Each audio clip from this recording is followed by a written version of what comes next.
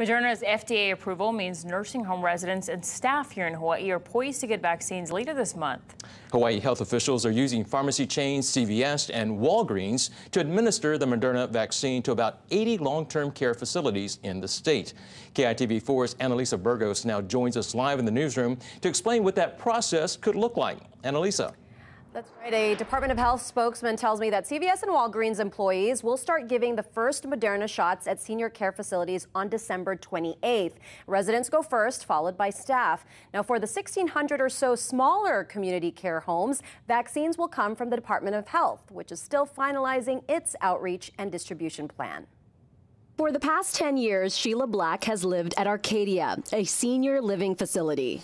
She has not had COVID 19, but says the pandemic made everything difficult. It's ruined our whole social life. The 78 year old says she can't wait to get the vaccine. I'm waiting patiently but anxiously because uh, how can you not take you know the, the vaccine is probably one of our biggest weapons. And this is a war that we're battling. It's a weapon Arcadia president and CEO Susie Schulberg is eager to deploy. She says about 80% of her residents and 70% of employees want to be vaccinated. We are in the process of talking with our contact at Walgreens of how it's going to work.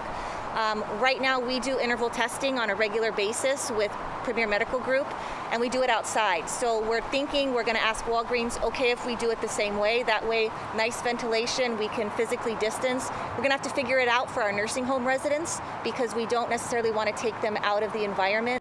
Going to an outside clinic to get a vaccine is not an option for residents of this licensed care home in Kalihi Valley. Owner and registered nurse Erlinda Ferrer says she's waiting to hear from the Department of Health on how vaccines will be given to her clients, many of whom are bedridden. As a part-time nurse at Kapiolani Medical Center, she didn't have to wait. She received the Pfizer vaccine yesterday. Being in the medical uh, field, I should take it. And first of all, I am the frontliner. Second, I do a care, I'm a caregiver and I have elderly in my family, so I need to protect myself and protect the community. She's also talking to her clients' families about their concerns and hopes her experience will persuade others to get it too. They should not be scared.